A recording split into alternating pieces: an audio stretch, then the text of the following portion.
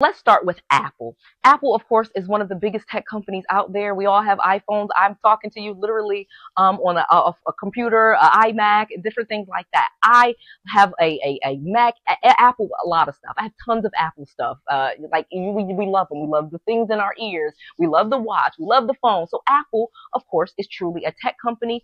But let's talk about what they earned. Last year, Apple earned $96 billion.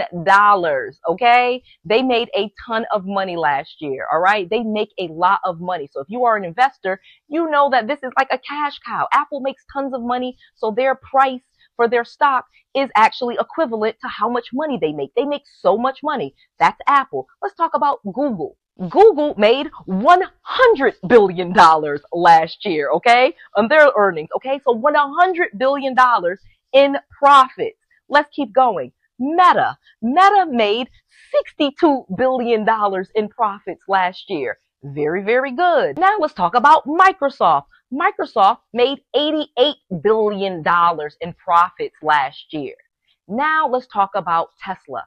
Tesla made $7 billion last year. And the problem with that is that is down by 51%. So comparatively, you have a company that makes 96 billion, 88 billion, Meta 62 billion, and then Tesla 7 billion. Okay, so you're like, all right, all right. But Elon is worth 436 billion, yet his company only had 7 billion of profits that would already let you know something's kind of off. But let's not even care about Elon for a second. Let's just talk about the price of the stock.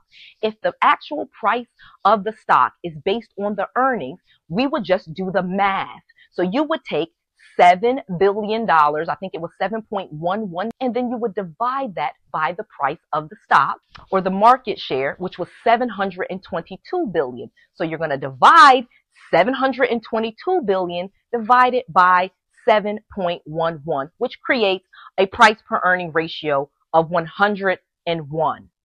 That is ridiculous. I already told you that price per earning ratios should be about 5 to 10. What on earth are you talking about? We have a price per earning ratio of 101. That is insane. Tesla lost money. They only made $7 billion. They, their actual profits decreased by 51%, but yet you have their stock price per earnings ratio at 101. This is insane.